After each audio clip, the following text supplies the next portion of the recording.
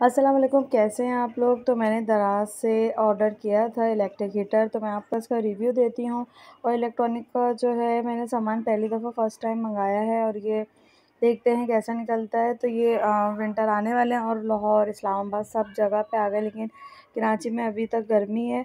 But ये है कि कभी भी हवा चल गई तो यहाँ के लिए बहुत है कराची वालों के लिए। तो मैंने सोचा अभी सेल लगी हुई है ग्यारह।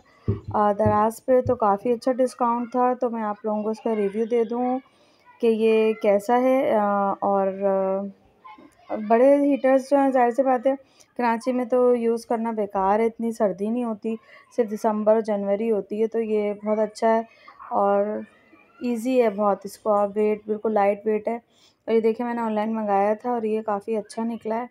और प्लास्टिक उसमें, प्लास्टिक बॉडी है इसकी पूरी सोगो से मैंने मंगवाया था। एक्चुअल प्राइस इसके सात हज़ार रुपये थे। डिस्काउंट के बाद ये मुझे छब्बीस हज़ार का पड़ा।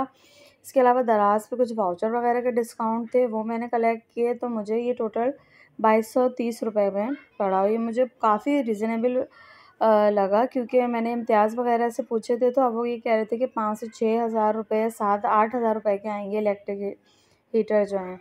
और ये अच्छा है। अब आपके अगर एक सर्दी भी निकाल ले सपोज़ के तो क्या बुरा है? बाईस सौ रुपये में कोई बुरा नहीं है।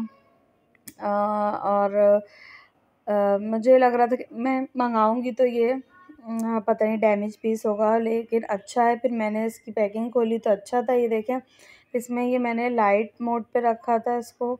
और अगर आपको ज़्यादा फुल करना है तो फिर आप इसका थोड़ा सा और बढ़ा दें तो हीट ज़्यादा हो जाएगी। तो ये सर्दियों के लिए काफ़ी अच्छा है मेरी तरफ़ से ओके तो आप लोग भी ज़रूर दराज पर जाके ऑनलाइन इसको परचेज़ कर सकते हैं। रीज़नेबल प्राइस है। वीडियो को लाइक और शेयर कर दीजिएगा। Thank you